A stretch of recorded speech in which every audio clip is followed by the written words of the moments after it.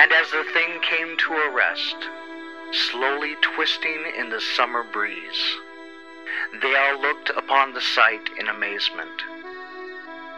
Danny was clinging, covered in sweat, spent, one hand still grasping the strap around the neck of the statue, looking over the scene, smiling as if he had just struck gold. He looked up at the sky. It seemed somehow smaller, less foreboding than it had ever been. He looked over the men of faith, and they seemed much smaller, much less important than they did a few minutes earlier.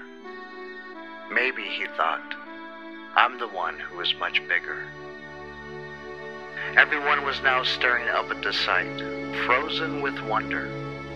Most of the ministers were bruised and battered. One of them had it worse. Minister White had a spiral fracture of his left femur, the largest bone in the human body, his leg. He lay on the ground moaning from the pain and crying from the whole experience. We must cut him down, he wailed, trying to pull himself up with the base of the statue. Yes, said Father O'Reilly. We need to get the boy down safely. Not him, Minister White exclaimed. The statue.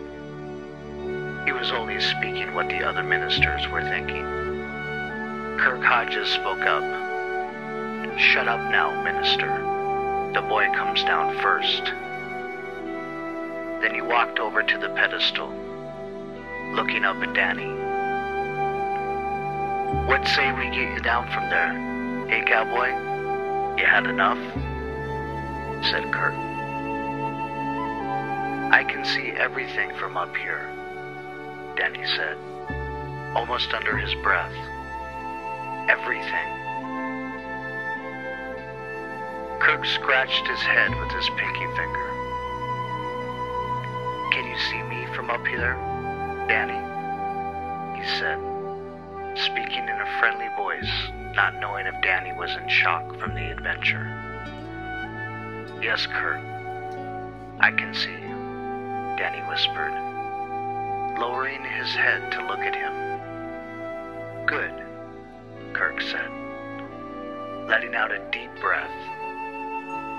Now I want you to listen to me, Danny. I want you to take your hand out of the strap and let go. I'll catch you.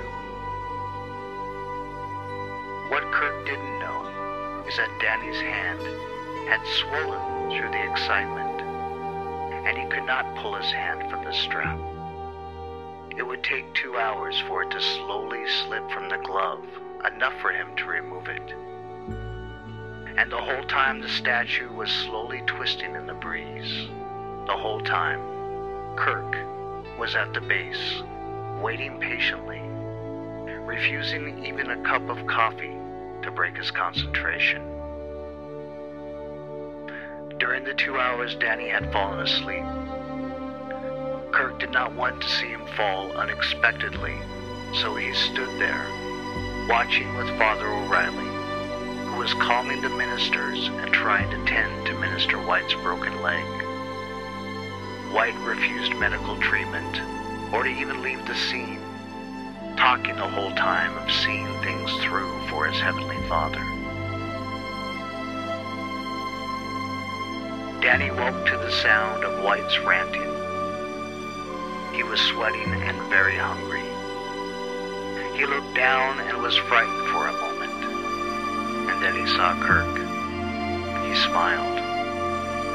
Hi, Kirk, Danny said, and gave him a bright, big smile. Kirk smiled back. How's the hand, Danny? Kirk said, still shifting to keep sight of Danny as the statue slowly spun. Sweaty, Danny said, and smiled again. This is the best day, you know, Kirk. The best day. Thank you, Danny said. You know, kid, you scared the Jesus out of me, Kirk said, and they both roared with laughter. Ministers looked on with disdain. What say we get you down from there, Danny? All right, Danny said, and looked around at his view again.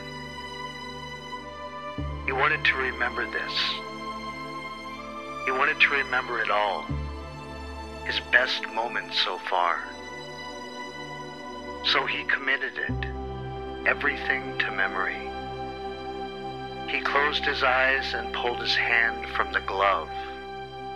There was an audible gasp from the ministers. But Danny knew that Kirk would be there, and that no harm would come to him. His faith was not in a book or a building today. It was in a thin, white truck driver, standing on the ground with his arms stretched and eyes fixed on his newest coworker and friend. So, still clinging to the statue, Danny eased his grip and moved over the shoulder of Christ, positioning himself below his chin. Then, letting go, he slid down slowly, like a human teardrop, molding over the contours and grooves until he let go and fell into the arms of the only man in this world he trusted. And as Kirk set Danny to the ground, his feet touched, and he thought he could feel the earth rotating, revolving underneath him. And he smiled, knowing from that moment on that this world could not hold him.